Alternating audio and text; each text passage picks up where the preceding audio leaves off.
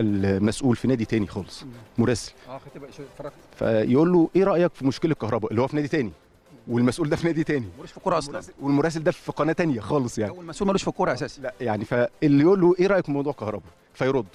وقبلها بيوم مذيع في قناة تانية خالص يجيب أبو الشخص ده اللي هو رئيس النادي ده تمام؟ يقول له إيه رأيك في موضوع الكهرباء؟ وسيد عبد الحافظ لما يجي يتكلم بأرقام أو سؤال إيه اللي يخليك إيه اللي يخليك تتكلم على النادي مش بتاعك؟ ما تخليك في النادي بتاعك. لكن معانا إحنا أنت مباح. قول اللي أنت عايزه. المذيع أو المس... أو المراسل يتكلم على النادي الأهلي براحته جدا. المسؤول يتكلم عن النادي براحته جدا. ولما ترجع للاستوديو التحليلي المذيع اللي هو بيقول لنا بيوجه لنا الأسئلة ما تخليك في النادي بتاعك يعمل نفسه مش واخد باله. بل بالعكس ده يكمل على الحوار. طب إيه رأيكم في رأي فلان الفلاني اللي بيتكلم على مشكلة تانية أو حدوتة تانية في حتة تانية؟ فده يبدل لك الإعلام ماشي إزاي.